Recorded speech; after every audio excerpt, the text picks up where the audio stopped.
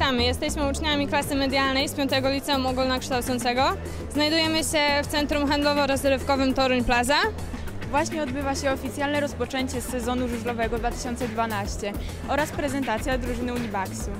Ania Miller, Weronika Wojtaś. Toruń 24 TV.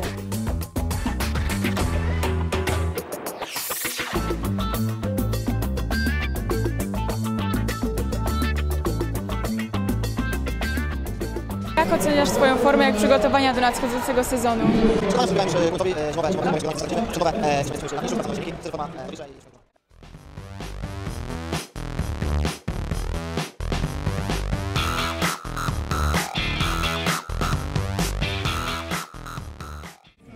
Dlaczego zdecydowałeś się dzisiaj tutaj przyjść na prezentację żużlowców?